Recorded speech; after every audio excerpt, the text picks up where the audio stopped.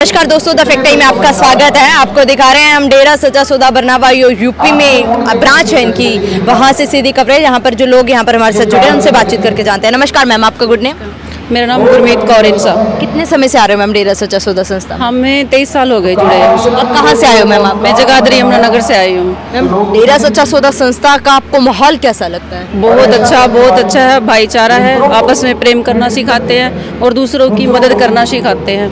और फैमिली भी आती है मैम यहाँ पर? पूरी फैमिली मेरा ससुराल पूरी फैमिली आगे मेरे बच्चे सब जुड़े हुए हैं मतलब। लड़कियों की सेफ्टी की बात करें तो कैसी सेफ्टी यहाँ पर रहती है? सेफ्टी बहुत अच्छी है। बहनों को बहनों की तरफ़ बिठाया जाता है भाइयों को भाइयों की तरफ़ और लड़कियों को सेल्फ डिफेंस के लिए भी बहुत कुछ सिखाया जाता है यहाँ पे। मैम मीडिया में बिल्कुल ऑपोजिट दिखाया जा रहा था इसका। यहाँ पर आने वाली लड़कियों की सुरक्षा के ऊपर सवाल उठाया जा रहा था। उस सब के लिए आपका क्या कहना है? देखिए मीडिया है कुछ भी बोलता है। लेकिन जो हम यहाँ आकर देखते हैं हमें यहाँ पे बहुत सेफ्टी मिलती है और लड़कियों को हर एक फ़ील्ड में अव्वल बनाया जाता है और हर एक सिचुएशन से लड़ने के लिए तैयार किया जाता है। बहुत अच्छी सेफ्टी है और ये मीडिया है ये तो आपको पता ही है। गुरमीत राम रहीम सिंह जिंसा के ऊपर जो आरोप लगाए जा रहे हैं उसके बारे में क्या देखिए वो बहुत बिल्कुल गलत है। जो इंसान जो गुरु हमारे जो हमें इस चीज़ से हटाते हैं इसकी तरह मतलब अच्छा संदेश देते हैं कि सब आपस में बहन भाई हैं। वो ऐसी काम कभी नहीं कर सकते। हमें अपने गुरु पे बहुत भरोसा है और हमेशा से जुड़े रहे हैं और हमेशा जुड़े रहेंगे। किस धर्म की शिक्षा देते हैं? सर्वधर्म की शिक्षा देते हैं। सभी धर्म समान है। सब धर्मों का सम्मान करो।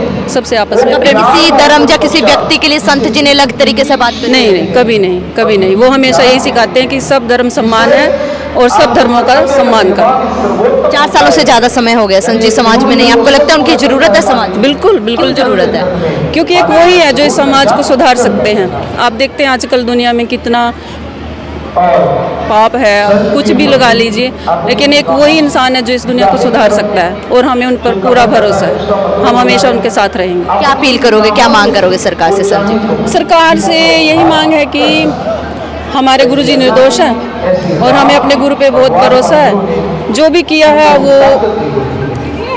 जो शरारती तत्व होते हैं, उन्होंने, उन्हों का किया हुआ है, जैसे ड्रग्स माफिया हो गया और वैश्यवृत्ति में फंसी जो लड़कियाँ, उनको निकाला हुआ है। तो उनके तो धंधे बंद हो गए हैं। तो वो तो ऐसे आरोप लगाएँगे ही, एक मतलब अच्छी संस्था को रोकने के लिए कुछ ना कुछ तो अड़चन डालते ही है। जी मैम, बहुत बहुत धन्यवाद। इनका मानना है कि जो लोग नहीं चाहते समाज से नशा दूर हो, जैसे जो ड्रग माफिया जैसे लोग हैं, उन्होंने संत जी को झूठे आरोप लगाकर समाज से दूर किया है।